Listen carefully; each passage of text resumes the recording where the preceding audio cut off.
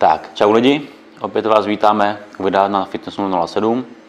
Dneska tady máme pro vás nového hosta, je to můj kamarád od nás posilovny, Andrej Calo. Andrej je neurochirurg, takže my bychom chtěli, eh, ty si klidně představ ještě víc, nějaké jako, jestli chceš veřejně, tak já jaký jsem- máš všechny. Ja som neurochirurg eh, v príprave, teda ešte pred atestácií, ešte mám niekoľko dlouhých let k atestácii, když, keďže je to jeden z nejtěžších oborů v medicíne. A, takže teď jsem už pomaly tretí rok ve fakultní nemocnici na Vinohradech, kde se vlastně venujeme výřezům medziobratlových plotenek, co je u sportovců, hlavně ktorí cvičí silové tréninky, veľmi častý. Taky se tam venujeme různým poraneniam periferních nervů, operace karpálních tunelů, co je taky teďkom v téhle době u silových sportovců celkem běžná věc. A taky děláme a, nádory a, v oblasti mozku, v oblasti míchy, všechno tohle víme vyřešit. No a pak se už několik dlouhých let venují posilování. Uh, byl jsem ještě v juniorech, soutěžil aj, jim rád chválím, ale byl jsem fyzik. teď už by jsem znova do toho nešel. Teď mám už trochu, trochu jiné cíle, kdyby jsem někdy soutěžil, tak možná by jsem zkusil klasickou kulturistiku. No, snažím se pracovat hlavně na těch nohách, co je největší slabina. No a vlastně teď jsem od začátku začal ještě ve Vršovicích cvičit, tady jsem přišel do Prahy v Olympii, a když se přestěhoval na hostivař, tak v hostivaři, tam jsme se aj spoznali. No a asi to je takový ten můj životní příběh. No. Tak, tak. Eh, Proč, proč Andreje jsem chtěl? Andreje jsem chtěl proto, že nejenom, že prostě má poznatky z toho lékařství a není to prostě klasický doktor, který vám řekne nějaký fůzovká nesmysl, řekne, jak to je. Andrej ví, jak funguje lidské tělo, zná ho hodně dobře, hodně dokonale, ale zároveň do toho prostě tvrdě trénuje a zajímá se o tu kulturistiku nebo o ten celkový tenhle fitness, fitness průmysl a ten sport, takže on do toho vidí z obou směrů. A je tu proto, aby jsme si řekli pár témat, které jsme vybrali pro vás, které by mohly být zajímavý, aby vám to řekl prostě, jak to funguje. Já můžu říct nějaký svůj názor z mý praxe, eh, jak to funguje, jako, ale Andrej vám řekne zase druhý pohled, že on trénuje tvrdě, ale zároveň zná ty lidské pochody, jak tyhle věci můžou prostě fungovat. A my bychom dneska tohle video první, uh, uděláme si těch videí trochu víc, ale první bychom zaměřili asi na tu, na tu přetrénovanost. Uh, Jsem tady na to, že Andrej, já třeba nejsem zastánce jakoby dlouhých tréninků, častých, ale já jsem vždycky tvrdil, že jakoby přetrénování není úplně tak jako, já, nevěř, já moc nevěřím na přetrénování. Jo? E, samozřejmě je to, záleží na mnoha aspektech, ohledech, regeneraci, práci, psychice, všem. Ale Andrej je takový jako úkaz tom a jeho tréninky jsou úplně třeba jiný než moje. Jo? Já mám rád prostě tvrdý, těžký, krátký tréninky, Andrej má rád tvrdý, Tvrdý, dlouhý. dlouhý tréninky. A jako ty, kolikrát on má, eh, minimálně ten trénink trvá kolem 3 hodin, viď?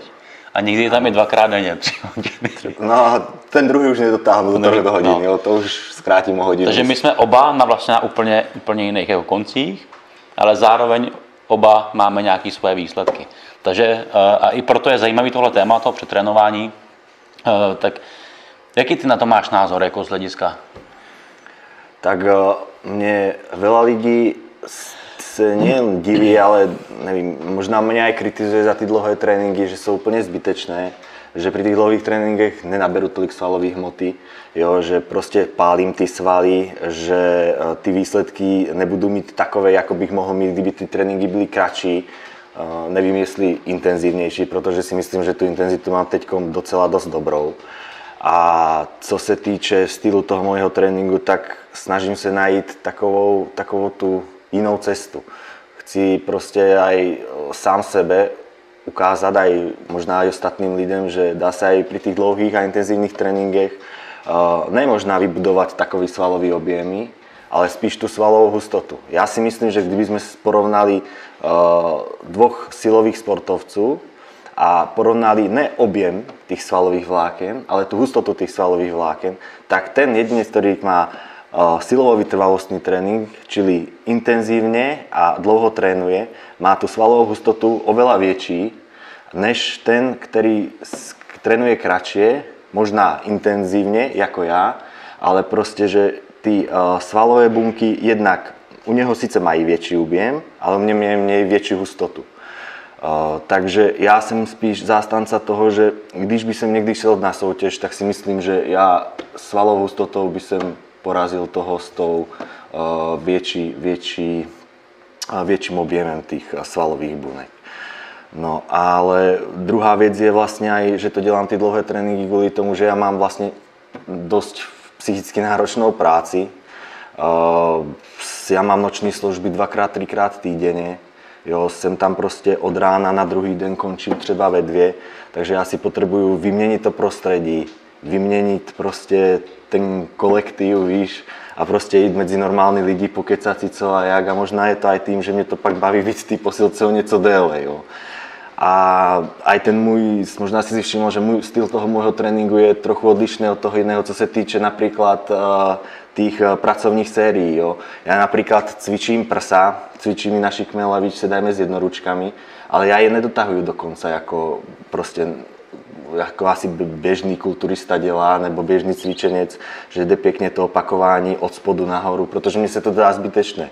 Já například cítím, že když dělám tlaky s jednoručkama na prsa a dávám ich prostě tak, jak se to má cvičit podle nějakých zaužívaných tých pravidel nebo jak se to má dělat, když to vidíš tréninkové videa například s tebou, tak já, když jdu například ze spodu a tlačím to úplně ze spodu nahor, tak cítím spíš jednak zadní ramena, jednak záda, pak triceps a až úplně někde na konci cítím, jak to zaseknem tými prsami.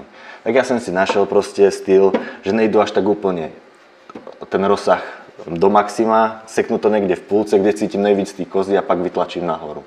No to se mě veľa lidí ptá v posilce, že jestli se to tak má cvičit, protože asi cvičím už několik let, ale že ten můj rozsah, že aby jsem jim to vysvětlil. Tak prostě řeknu, že já to takhle cítím. Treba, ty to si jednak možná je naučený jinak, že prostě dlouhé leta to děláš takhle, takhle ti to vyhovuje. Jo? Já to dělám takhle taky dlouhé leta a taky mi to tak vyhovuje. Tak prostě tým chcem říct, že ne každý má v tom svém tréninku, musí jít přesně tak, jak to dělá někdo jiný. Jo? Jestli je to dĺžka tréninku, jestli je to rozsah tých pohybů, jestli je to prostě split party, jo? někomu vyhovuje uh, antagonisti, jo? že mm-hmm. někdo jde například prsa záda, jo? to já nemůžu jít, protože vím, že když odjedu prsa, tak z těch zád by jsem pak nic nedal, jo? tak jedu například uh, prsa biceps. Někdo říká zase, že prsa triceps je lepší. Jo?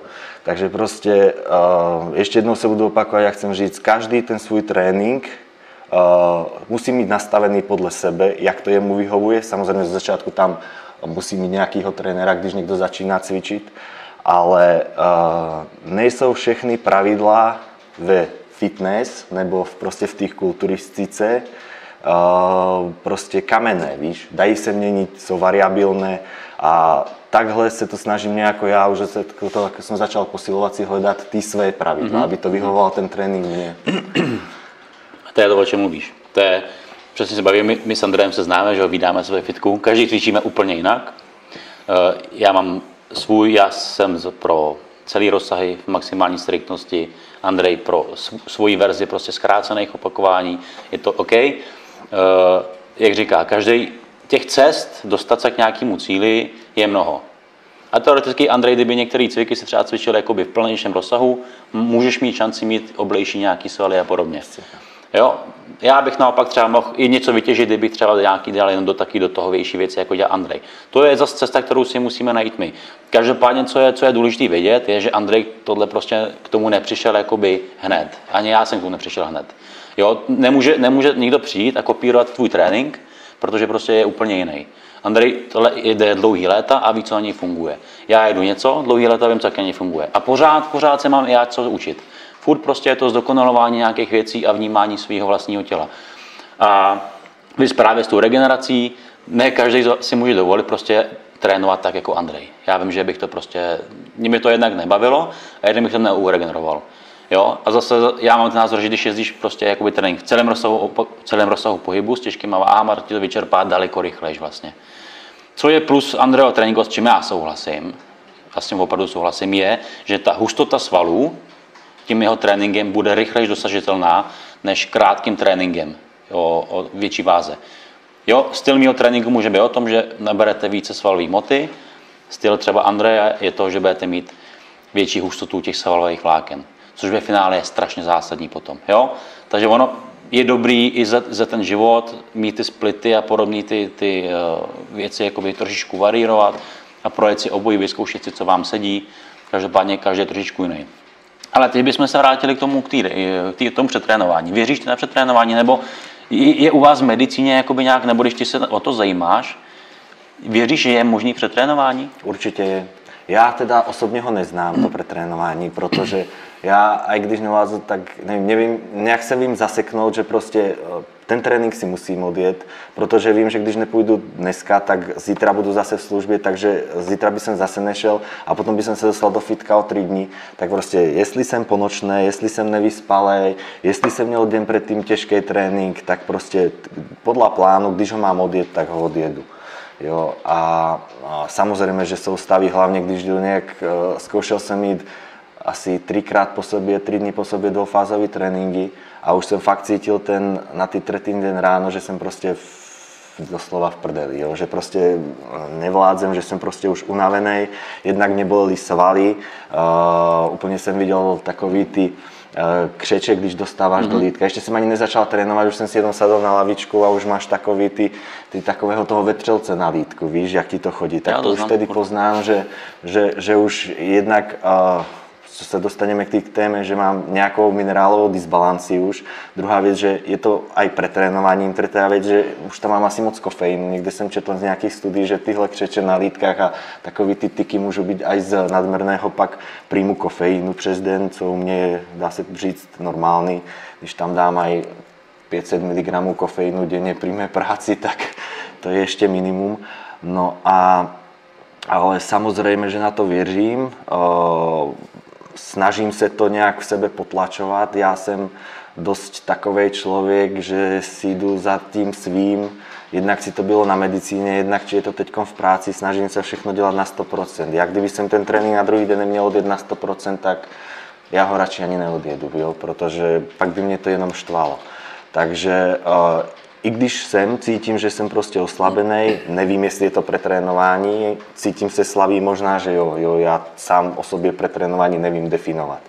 Ale četl jsem studie, vidím to na některých lidech, který mě hlavně že cvičí, dejme tomu, ale mají zlou životosprávu, jo? Mm. že prostě buď neumí jíst, nebo nemají čas jíst, tak prostě uh, pak je tam větší náchylnost na různé zranění, jo, prostě uh, ty lidi jsou si schopni jednak uh, odpálit uh, šlachy, jo, prostě pretrénovat ty šlachy, tím, že ty šlachy nemají potřebnou výživu, nebo potrebnou vitaminovou suplementaci. Víme, že napríklad kolagén, vitamín C, že dokáže takhle ty šlachy zregenerovať, takže môže byť, že v ich strave je málo týchhle věcí.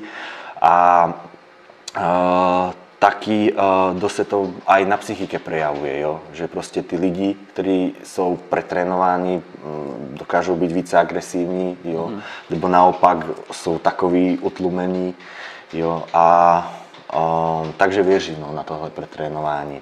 Jednak aj ty výřezy mezi obratlové plotenky, bederní, kolikrát je to aj z nadmerného zatěžování. Já, my jsme měli x lidí, mladých, hlavně chlapů, co pri drepech nebo pri mrtvých ťahech, co jsou jedny asi z najhorších, uh, najhorších cviků na tu, na tu bederný páteř, prostě mělo v 30 letech vyřízlou plotínku. Jo? Mm-hmm. A bylo to nejpravděpodobnější kvůli, kvůli týmhle, týmhle syndromům toho pretrénování, že prostě ty posilce to buď prehnali s váhou, nebo s tou frekvencí, s tou intenzitou. Takže samozřejmě věřím. No. Prostě sval eh, je napojen na nervosvalovou platničku, která vlastně ovládá tu kontrakci jo, toho svalu. Ta je prostě, uh, uh, s, tu ovládá tzv. jontový kanál, sodíkovo-draslíkový, že vy tou e, pravidelnou intenzitou uh, čerpáte ten sodík na uh, tie chloridy, celkovo tie jonty z toho těla. Takže teď jde v fitness trend, jo, nesolid, nebo co nejméně solid, protože sol škodí, jo, sol škodí ledvinám, sol škodí, nevím, trávicímu traktu, nebo něco takového jsem četl, jo, tak zkus nesolid, jo. Skús, skúste nesolit v léte, když je 35 stupňů, spotíte se jednak pri běhu, spotíte se v posilke. Já se teda potím strašně, to sám víš To prostě. A, a já kdyby jsem nedal denně možná 10 gramů soli, tak já se nejsem schopný na druhý den odjet trénink, protože by jsem měl tak silné křeče, že by jsem to prostě nebyl schopen odtrénovat. Jo? A já nevím, který prostě člověk tohle zavedl, že teď je moderné nesolit. Pak mi píšou kamaráti, tyjo, já mám takový křeče, já nejsem schopný ty vole ani stát a tohle. Hovorím, no tak zkusil, zkusil normálně si posol pořádně jídlo, nebo uh, kúp si jontový nápoj, jo, něco, kde si prostě sodík. A já nechci sodík, to mě zalije, budu pak zalitej vypadat. Ty vole, jak, odkud tohle víš, to jsem někde četl. Já hovorím, no tak no. pak se čuduješ, že máš křeče, jo. Prostě tohle všechno, ty musíš mít uh, jontovou rovnováhu v těle, aby si mohl trénovat, abys mohl fungovat. Jo? Všechny prostě minerály jsou na seba navázány. Jo? Mm, Teď jsem četl nedávno studii, že magnézium je normálně navázáno s uh, vitamínem D a spolupracují, kooperují spolu. Jo? Takže samozřejmě aj tohle může být důvod toho pretrénování. Jo? Jo, určitě. jontová disbalance. Takže věřím tomu, vidím některé ty lidi, sám ten pocit neznám, jestli jsem pretrénovaný nebo unavený, to potvrdit nevím, ale vím, že jak když jsem unavený, tak ten sakra trénink chci odjet. Jo. Je to tak? Je to přesně jak na to narážíš, jako no. Tyhle věci spolu všechny souvisí a s tou solí to je prostě úplně to je svatá pravda, každý ví, že já jsem zastáncem soli a doporučuji lidem hodně soli před tréninkem, během tréninku a podobně. A já jsem, který trpím jako brutálně na křeče, takže u mě já hned, jak kdybych ten sol jídlo, tak hned jsem jako vyřízený. Já když si dám snídaní bez soli, tak hned přijdou křeče a podobný. Ale abych se vrátil k té, eh, to bychom ko- každopádně zmínili v dalším videu, o těch jontech, to bude, uděláme jakou samostatnou kapitolu o tom, a protože to je hodně zásadní, ale vrátil bych se k tomu ještě před trénováním těm zraněním, který si tvrdil, eh, to vlastně říkal, tak spoustu, spoustu těch vlastně utrhnutých svalů je vlastně způsobený tím, že lidi, jsou přetrénovaní, jsou oslabený. A kolikrát cítíš, když na ten trénink jdeš, že jsi fakt jako unavený a přepálí to váhu, tak se může stát právě nějaký tenhle ten úraz, nějaká ta rozporná a podobně. A strašne to súvisí aj s tou stravou. Jo. Proste ty tým tréningem deň predtým nebo dva dní predtým udeláš proste v tých a, svalových vláknách tzv. mikroruptúry. Jo. Ty mikroruptúry sú základ na to, aby sa ti pak následkem ty a ty regenerace v tom organizme uh, ty ruptúry, mikroruptúry zahojili a tým pádem ten sval hypertrofuje. Jo? Snaží se zvyknout na tu zátěž. Ty, když tomu svalu nedáš dostatečnou stravu na to, aby mohl správně regenerovat, tým pádem není schopný uh, jednak ty mikroruptury a jednak ty, uh, pochody metabolické, které v tom svale musí být, uh, zregenerovat natolik, abys mohl odjet další trénink. Takže ty jdeš s tím poškodeným svalem na další trénink, s tím, že si měl, já nevím, buď si nestíhal jíst, nebo si tam hodil mekáč, protože s- nic jiného ti nezbylo. Dal si tam mekáč, teď jdeš, dajme tomu, na druhý trénink o deň uh, a prelož, naložíš si váhu, protože z toho mekáče máš energiu, jo? ale nemáš to potrebné, nemáš tolik proteínu, kolik by si tam měl mít. Samozřejmě je tam nějaký maso, jsou tam nějaké bílkoviny, ale ten sval není tak zregenerovaný, jako kdyby si tam dal, já nevím, kuřecí maso nebo pořádný protein s tvarohem nebo ně, nějaké prostě jídlo, které má v sebe velké množstvo bílkovin a nějaký dobrý sacharidy, aby všechny ty metabolické pochody mohly uh, směrovat k tomu, aby ta proteosyntéza mohla proběhnout na ty největší úrovni, aby se ti ten sval mohl zaregenerovat. Nebo já nevím, měl si v pondělí prsa a ty si řekneš, že v úterý ty prsa mám malý, tyjo, já dám ještě na druhý den taky. No. A už to jde, už máš uh, rupturu prsního svalu, jo, nějakou, naštěstí, když máš nějakou malou, víš, že to jenom cítíš, že prostě tě to tam pichá, bolí, no tak víš, že už asi do pátku ty prsa nepojedeš, nebo ti to tam rupne, víš, a máš zranění prostě jenom kvůli tomu, že si nedodržalo buď ten split, buď tu stravu, nebo prostě seš pretrénovaný, protože jdeš, dajme tomu intenzivní trénink dva týdny v kuse, jo, bez prestávky. A to se říká všade, všude prostě sval kdy regeneruje, když odpočívá. Jo? Takže prostě ten odpočinek, je, aj tá strava je důležitá pro to, aby se se tomu pretrénování vyhlo. A když prostě sám na sebe, já říkám, že tělo je prostě naprogramovaný. a ví presne to, co chce, protože já, když je venku 35 stupňů, jak jsem teď říkal, a jsem spotený, tak mám strašne po tréninku strašnou chuť na něco slaného. A to proto, protože tělo ví, že potřebuje doplniť ty věci, tak si prostě dosolíš to. A ještě se ti to dá, normálny člověk by řekl, ty to, to je tak slaný, ale mně to není doslaný, protože to tělo chce. Tak přesně tak je to aj s pretrénovaním. Tělo ví, že chce odpočívat, proto si unavený.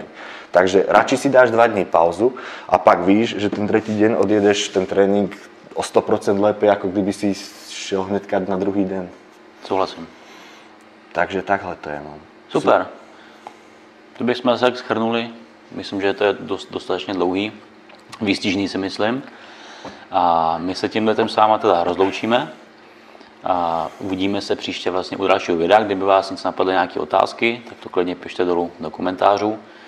A třeba se ještě s Andrem potkáme jindy a zodpovíme to k tomu. Takže zatím se s vámi loučíme. Díky za pozornost. Mějte se.